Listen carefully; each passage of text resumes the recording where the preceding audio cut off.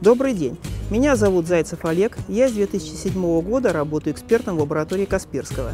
Когда я разрабатывал свой умный дом, я учитывал то, что у меня живет несколько животных, я старался обеспечить для них максимальный комфорт и, что самое главное, максимальную безопасность, что я учел в своих разработках. Даже на закрытой территории гуляющая собака подвергается ряду рисков. Во-первых, она может убежать через открытые въездные ворота. Во-вторых, ее может придавить воротами гаража, или же можно задавить ее машиной, выезжая из-за гаража и просто ее не заметив.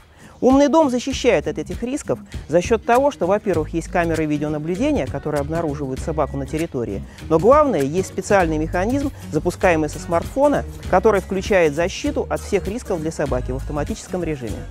Для защиты собаки, гуляющей на территории, я могу со смартфона включить специальную блокировку. Попытка управления въездными воротами гаража блокирована, так как на территории гуляет собака.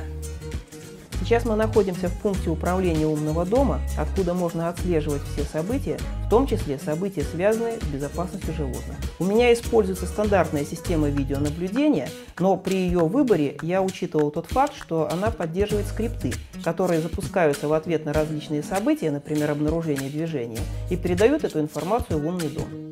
Вот сейчас мы видим, как система видеонаблюдения трассирует перемещение Йорка по территории, и эти события поступают в систему умного дома. Система видеонаблюдения реагирует не только на моих животных, но и на любого нарушителя периметра. Вот, например, соседский кот, который пробрался ночью на территорию, был зафиксирован на видео, и сигнал пошел в умный дом. Аквариум находится под контролем умного дома. Он следит за температурой, контролирует исправность фильтров, помп и прочих систем аквариума. Однако при этом есть две тонкости. Во-первых, в аквариуме есть дополнительные защитные системы, которые при любом сбое умного дома не позволят создать для рыбок аномальные условия, например, повышенную температуру. Во-вторых, я считаю, что уход за любыми животными предполагает личное общение с ними, поэтому я не использую автоматические кормушки, в частности в данном аквариуме. Я считаю, что либо нужно заводить животных и обеспечивать им максимальный комфорт и безопасность, либо не заводить их вовсе. Вот здесь у меня живут черепашки.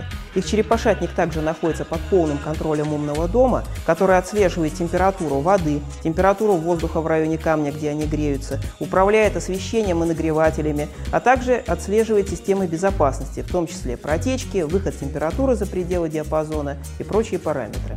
Давайте я продемонстрирую, как он реагирует на простейшую проблему – протечку воды из фильтров.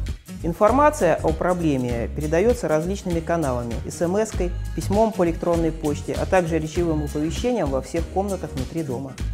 Тревога, протечка воды в черепашатнике. Нагреватель воды и фильтры отключены.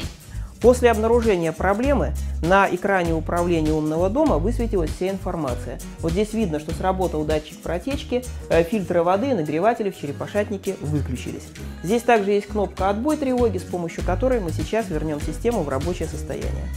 Одним из главных рисков для кошки, особенно для такой крупной кошки, как майкун, является выпадение из окна. У меня умный дом управляет системой приточной вытяжной вентиляции во всех комнатах, в результате чего окна в доме никогда не открываются, и этот риск сводится к нулю. Разрабатывая умный дом, я стараюсь соблюдать баланс между комфортом и безопасностью для всех жильцов, включая своих домашних животных. Я не собираюсь останавливаться на достигнутом.